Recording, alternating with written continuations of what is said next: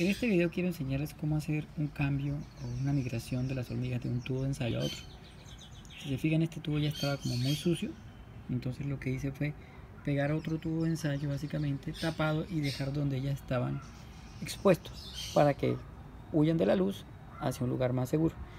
Y al final, pues ellas terminaron mudándose. Voy a mostrar aquí. Ellas terminaron mudándose para acá. Ahí está la reina con sus obreritas. Y lo que voy a hacer ahora es retirar el tubo de ensayo y dejarlo solamente con el algodón hasta acá.